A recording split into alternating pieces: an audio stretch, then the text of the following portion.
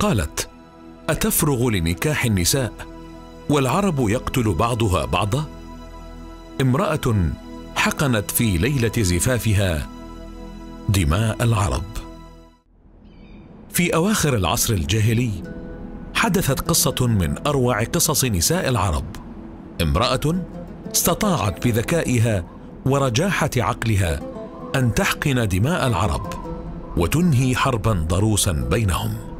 ذات يوم قال الحارث بن عوف وهو من كبار سادات العرب في الجاهلية لصاحبه خارجة بن سنان أتراني أخطب إلى أحد فيردني؟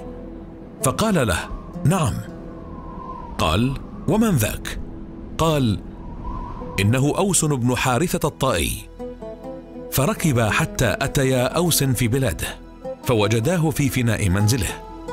فلما رأى الحارث بن عوف قال مرحبا بك يا حارث ما جاء بك؟ قال جئتك خاطبا. فرد عليه رافضا. فانصرف الحارث بن عوف ولم يكلمه. ودخل أوس على امرأته غاضبا وكانت من قبيلة عبس. فغضبت زوجته لاستقباله الحارث بن عوف ذلك الاستقبال البارد ووبخته لرفضه سيدا من سادات العرب. وقالت إذا لم تزوج سيد العرب فمن تزوج؟ قال قد كان ذلك. قالت فاذهب إليه وأرجعه. قال وكيف وقد فرط مني ما فرط إليه؟ قالت تقول له. لقيتني وكنت غاضبا من أمر فلذلك رددت عليك بما رددت فارجع معي ولك عندي ما يسرك. فانطلق وراءهما فرجع معه الحارث مسرورا وكان لأوس ثلاث بنات. فدعا ابنته الكبرى وقال لها يا بني هذا الحارث بن عوف سيد من سادات العرب قد جاءني خاطبا وقد أردت أن أزوجك منه فما تقولين؟ قالت لا تفعل. قال ولم قالت لأن في خلقي رداءه وفي لساني حدة. وليس ابن عمي فيرعى رحمي. وليس بجارك في البلد فيستحي منك.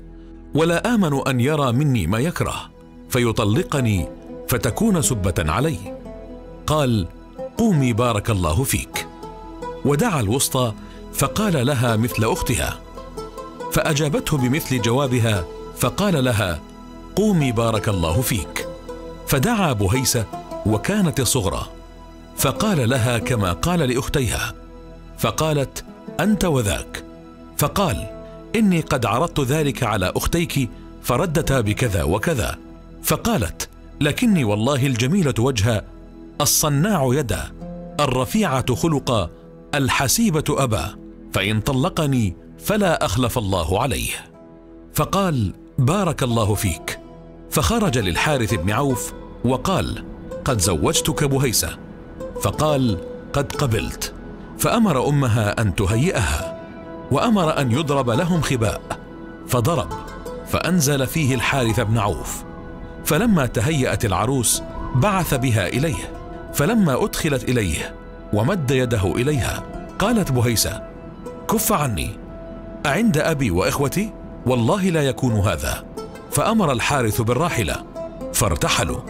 وفي أثناء الطريق أراد أن يدخل بها فقالت أتفعل بي كما يفعل بالجارية الجليبة أو السبية الأخيذة؟ لا والله حتى تنحر الجزر وتذبح الغنم وتدعو العرب وتفعل معي ما يفعل مثلك لمثلي.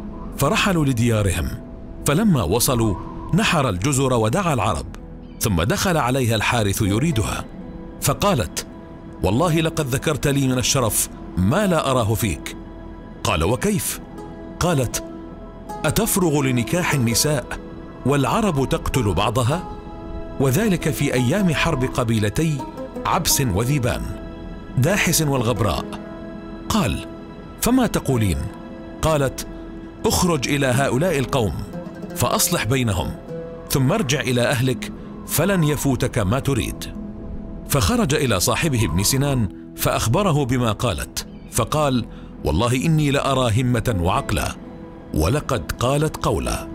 فخرج حتى اتي القوم المتحاربين فسعوا بينهم بالصلح فاصطلحوا وحملوا عنهم الديات.